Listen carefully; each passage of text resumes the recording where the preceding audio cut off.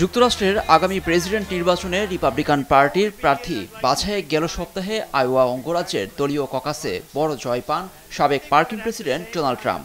সেই লড়াইয়ে হেরে গেলেও শক্ত প্রতিদ্বন্দ্বী ছিলেন রিপাবলিকান পার্টির রন ডিসেন্টিস।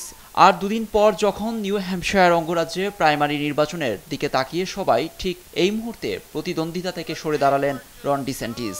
ডোনাল্ড ট্রাম্পকে সমর্থন জানিয়ে নিজের প্রার্থিতা প্রত্যাহারের ঘোষণা দেন ফ্লোরিডা অঙ্গরাজ্যের এই গভর্নর. গত কয়েক মাস আগে আমি যুক্তরাষ্ট্রের বিভিন্ন জায়গায় ঘুরে বেরিয়েছি। ভোটারদের সঙ্গে আমার একটি ভালো সম্পর্ক হয়েছে। কিন্তু এই মুহূর্তে আমি ট্রাম্পকে সমর্থন দিয়ে নির্বাচন থেকে সরে দাঁড়াচ্ছি। Now, following our second place finish in Iowa, we ডিসেন্টিসের সরে দাঁড়ানোর ঘোষণায় বাদ ভাঙা উচ্ছ্বাস দেখা যায় ট্রাম্প শিবিরে। শনিবার নিউ হ্যাম্পশায়ার অঙ্গরাজ্যের ম্যানচেস্টার শহরে নির্বাচনী প্রচারণা ফিচানে অংশ নিয়ে সমর্থকদের উদ্দেশ্যে ট্রাম্প বলেন সত্যি এটি দুর্দান্ত খবর।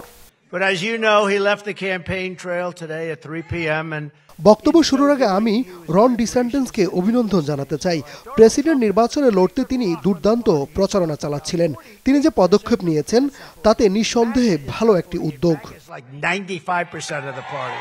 Dissidents সরে দাঁড়ানোয় এক ধাপ এগিয়ে গেলেন ট্রাম্প কিন্তু খুব একটা স্বস্তির সুযোগ নেই তার। কারণ হাতি প্রতীকে মার্কিন প্রেসিডেন্ট নির্বাচনে লড়াইয়ের ক্ষেত্রে ট্রাম্পের এখন একমাত্র প্রতিদ্বন্দ্বী জাতিসংঘে যুক্তরাষ্ট্রের সাবেক রাষ্ট্রদূত নিকি হ্যালি নিউ হ্যাম্পশায়ারের প্রচারণা অভিযানে ডিসেন্টিসের প্রতি শুভকামনা জানিয়ে ট্রাম্পকে চ্যালেঞ্জ ছুড়ে দিয়েছেন তিনি।